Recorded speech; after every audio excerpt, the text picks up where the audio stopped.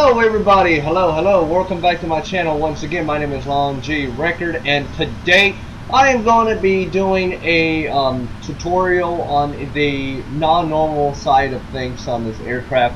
Today we are here in Beijing, China.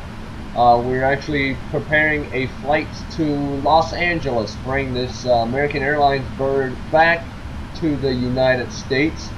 So uh, we're all lined up here and ready to go, but we are not really going to flight that flight because it is going to take us 16 hours to do it.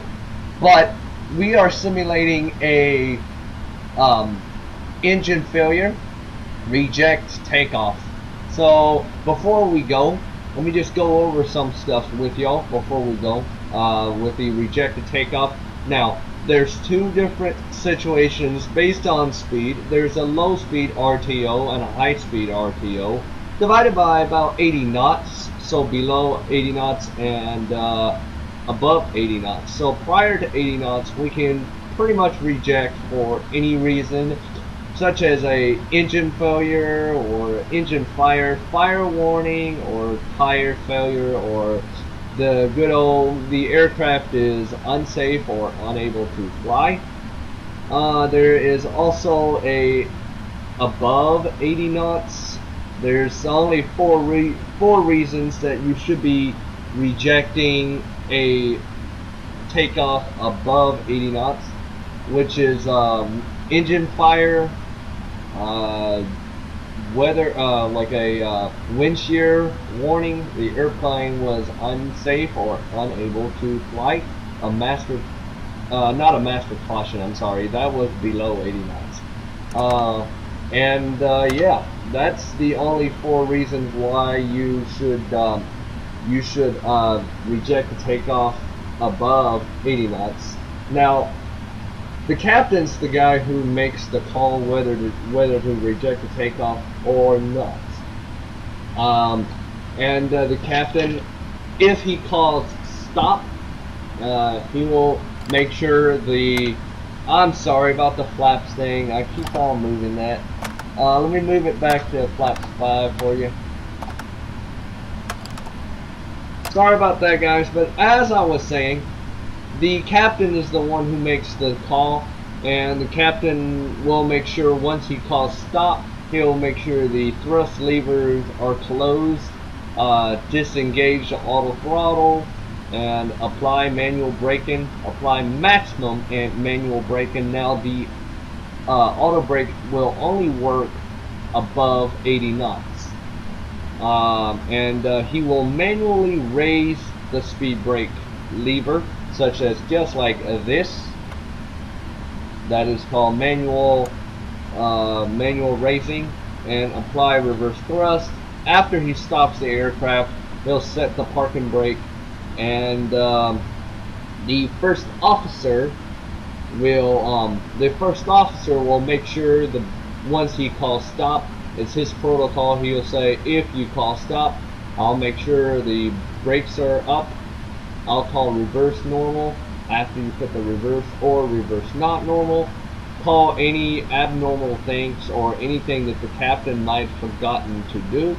And call 100 knots, 80 knots, 60 knots, and um, and then he will make sure the auto brakes is once the auto brake is disarmed he will select flaps 40 and contact ATC and uh, once that happens, the captain will say state uh, malfunction. The first officer will look up at the will look up at the secondary secondary um, display here. He'll say either you know engine one fail, no N1 rotation, high speed EGT, no fuel flow, no N2 rotation, and you know verify the engine fire is not or is pulled or not need to pulled and then we will do the um, we will do the uh, evacuation. So let's just get going. So here we go. So we will go ahead and apply thrust. Whoa. and thrust. Thrust is set he'll call out. Captain will say 80 knots cross check. 90.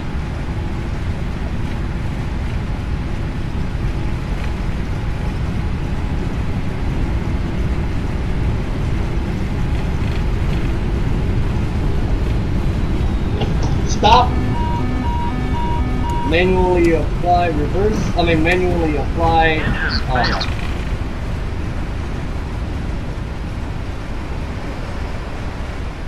Alright, stop the aircraft, manually apply, uh, apply brakes. Reverse is good, okay, 40, 30, and the cap, uh, and the first officer will immediately lower the flaps to 40, and he'll make sure, okay, so in this case, no N1 rotation, no, uh, no N2 rotation, uh, fuel flow, no fuel flow, and uh, okay, that's good. Verify the fire handle, turn off the first engine, and inform ATC. He would say something like Mayday, Mayday, Mayday, American 257, uh, rejected takeoff due to engine failure. Uh, we'll be vacating. So once that happens, uh, once that happens, uh, he'll do his checklist, and we have we will uh, evacuate the passengers, which is right here. I will go ahead and pull that. Evacuate command. In the meantime, he'll shut the engines down. And in the real world, he would probably taxi it to a gate, but here we're gonna shut it down right here. So, okay, so this is basically how you do a reject takeoff. Um, so thank you guys for watching, and uh, we'll see you guys in the next one. Take care.